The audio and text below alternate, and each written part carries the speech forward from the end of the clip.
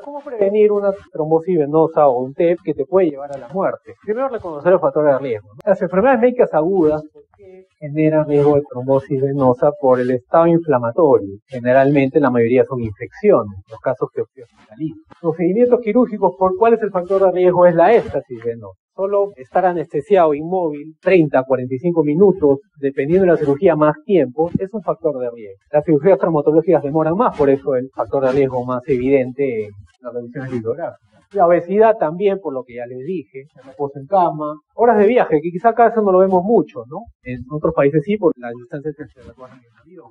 Cirugía ortopédica, fracturas, sin operarte, pero el hecho de estar fracturado estás inmóvil. ¿no? El embarazo también, ojo, el embarazo es un estado procoagulante. Hemos tenido varios casos que son derivados de, obstetricia o en el puerperio o durante la gestación que hacen TDP. Eh, neoplasias, cáncer, cada vez más frecuente, la incidencia de cáncer de todo tipo en el mundo en general, y terapia con estrógenos, pero generalmente posmenopáusicas, no tanto, no tanto en anticoncepción oral.